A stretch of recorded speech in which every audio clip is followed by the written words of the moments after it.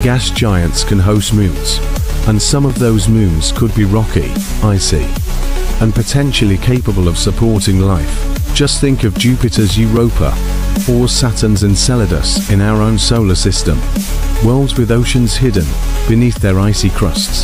If this exoplanet has moons like those, orbiting inside Alpha Centauri's habitable zone, well, that's where things get truly intriguing.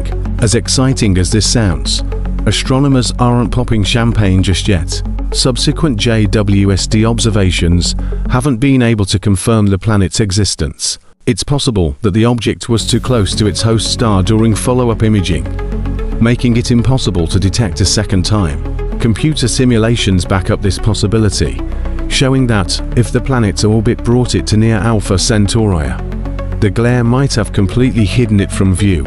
So right now, this potential planet remains a candidate, not a confirmed exoplanet.